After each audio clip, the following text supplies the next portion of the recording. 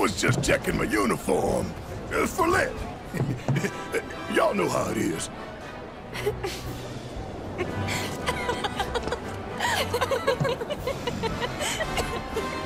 ha ha, very funny. I could have shot you. You look... What? Wow. It's not like I had a choice. Nothing else fit. Okay, I get it. Anyway, I checked out the way to the port. And y'all, uh, look like you're fitting in. Yeah.